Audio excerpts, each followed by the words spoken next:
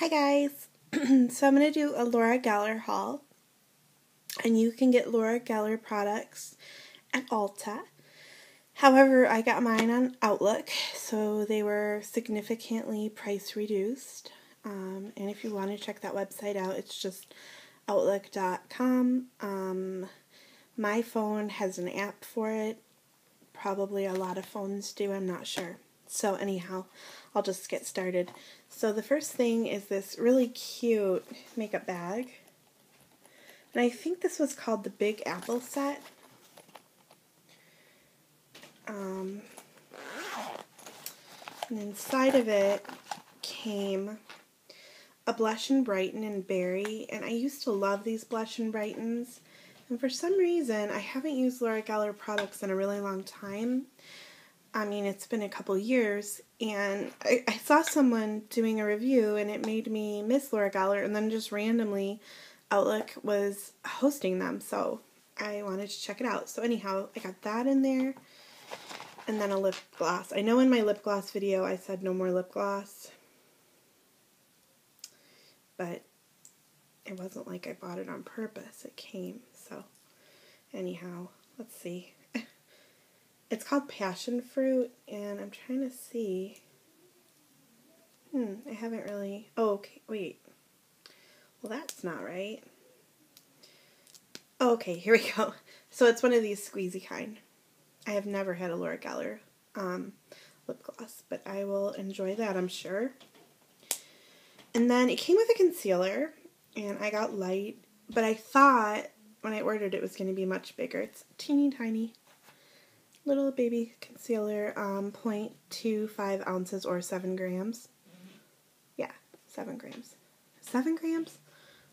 Okay, or it might be 0.7 grams. I'm, I'm sorry, you guys, my eyes, I don't know. So that, and I got stuff. I got two of the, um, well, I'll show you. I got an eyeshadow in Forest Mist, which I thought was gorgeous.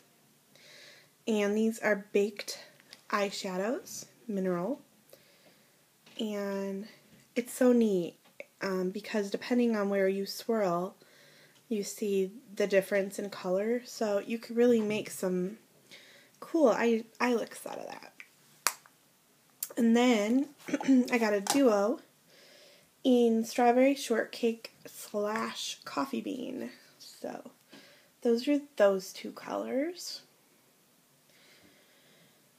I know some people hate pink eyeshadow, but I don't know, I like it. So then I got an Eye Care waterproof eyeliner duo, and it is in the color Bone. And a portion of these proceeds went to cancer and careers. Actually, a couple of the things I bought, uh, some of the money went to that, so that's cool. Um, so anyhow, I'd been wanting like a white or a cream colored eyeliner, but didn't want to pay a ton for it. So when I saw you could get two, and it was a really good price, I thought, well, let me try. So here's the color, and what I like is that it's kind of, um, what's the word? You know, it's like um, ethereal, or I don't even know. You won't be able to see it. Um, sorry. But it's like shimmery a little bit, so I like that. I'm excited for these. I think that white or um, lighter um, eyeliners really can open your eyes and just um, make a really neat look. So, then I got some sets and this one is in Sunswept. It's a blush and brighten, and it came with a supposed.